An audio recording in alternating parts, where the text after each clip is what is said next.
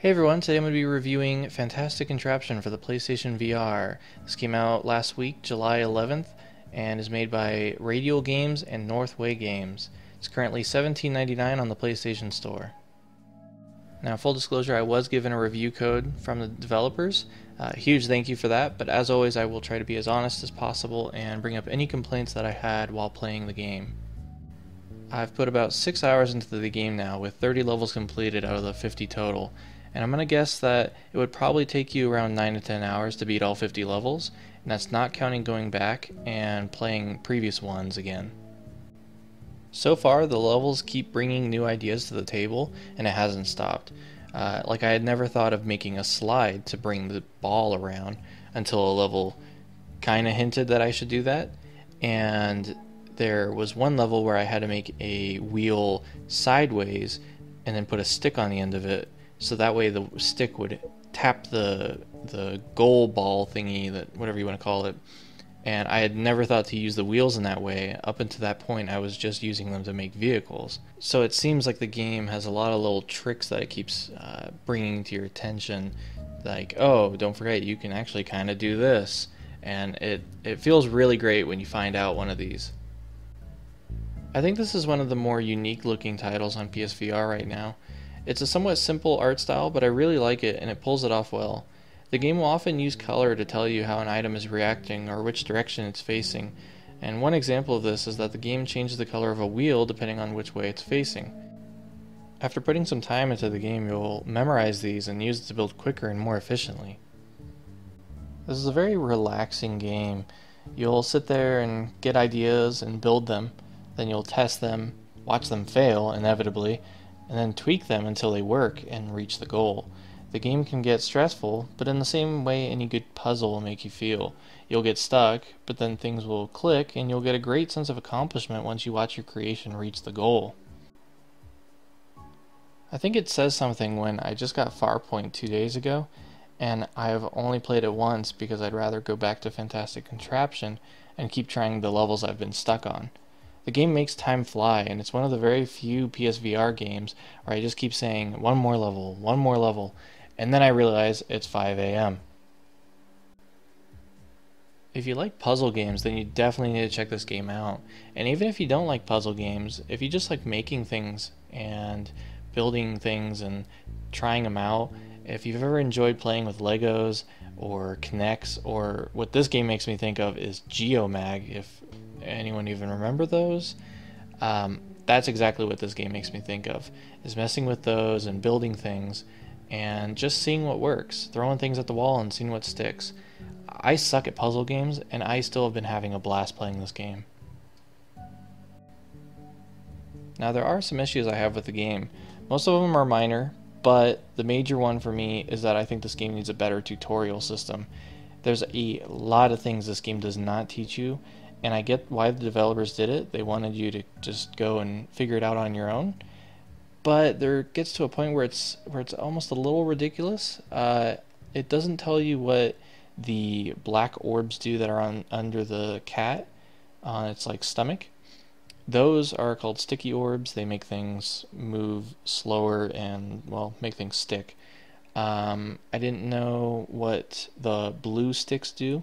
Those are water sticks. They go through objects. Um, there's there's a lot of things like that. Like, did you know you can reach behind your right shoulder and grab wood sticks? Reach behind your left shoulder, grab water sticks. Reach behind uh, your head to get, I think it's wheels. And then there's ones for ears, and I think one for the eye, and maybe mouth. There's there's a bunch of those where it doesn't teach you any of that, and you just kind of figure it out on your own, which a lot of those I ended up actually having to go through the Vive uh, manual that's available over there. I don't think we have one for the PSVR unless there's uh, some option I'm missing. And I, I think the game would, would really benefit from a better tutorial system. I also think a hint system would be really appreciated. Maybe make it optional so that way the people that don't feel like they need it can turn it off and that's that. But I think it'd be really helpful if, say, the little cat would maybe point in a direction or give you an item that it thinks would help in, in this situation. or maybe just maybe a pop-up that says like have you tried um, I don't know just using wheels like maybe it's something that only really requires wheels or or maybe it only requires you to make a slide. So say oh have you tried just using sticks and sticky balls? Or something like that you know like like some sort of hint system i think would help. Because there were a few times where i got so stuck and i spent a good 40 minutes 40 30 40 minutes just sitting there on a level having no clue where to even start. And i mean again i am awful with puzzle games so maybe that's just me but an optional hint system would be really appreciated I'd also really like to see uh, the ability to rotate a level without having to go back to the resize island, which you do by holding the square button. Now the problem with doing that is you load into the resize island, rotate, and then you load back into the other level you were in, and you lose your progress. Everything you built is wiped, at least in the two or three times that I've accidentally done that and forgotten about it, I've lost what I built. So that can be frustrating when you just wanted to build something that maybe was uh, that was wrapped around an entire area and you you can't get up and walk around like you can on the Vive version because the tracking on the PSVR is you know it's it's a lot more limited. So being able to rotate levels uh, in already in the level that would be really nice.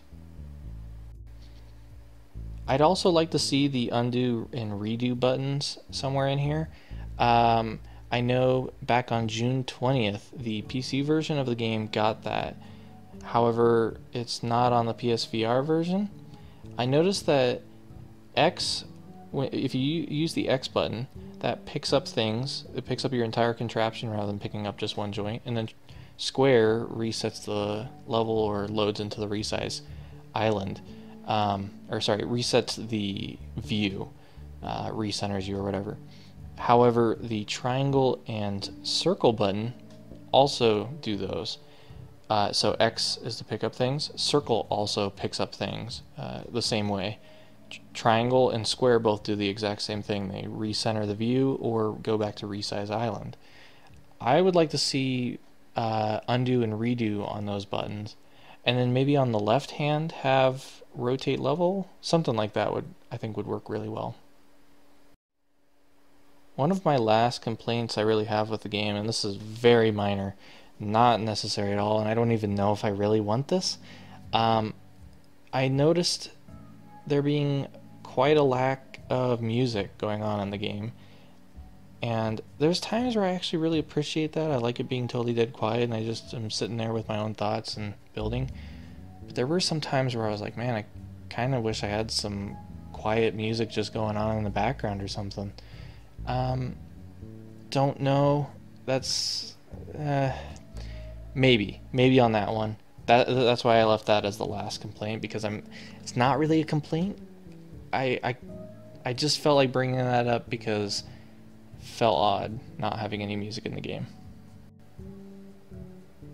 But overall, I highly recommend this game, not only to people who love puzzle games or those who love building things, but to PSVR owners in general. You should definitely check this game out.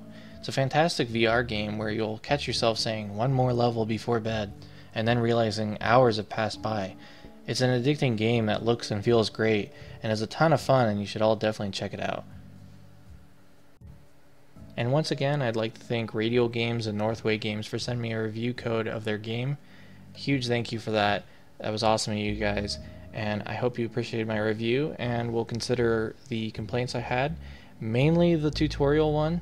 I think the rest of those kind of could go without, uh, it, like, not a huge deal if they don't get patched in. But the tutorial one I think could really, really help. Um, the music one, I'm still not 100% sure if I really want that. If that was added, I would hope that will be an optional thing that you can turn off. But uh, otherwise, yeah, I had a blast playing your game, and thank you so much for sending me a code. And thank you everyone for watching my review, and I'll see you guys all in the next video.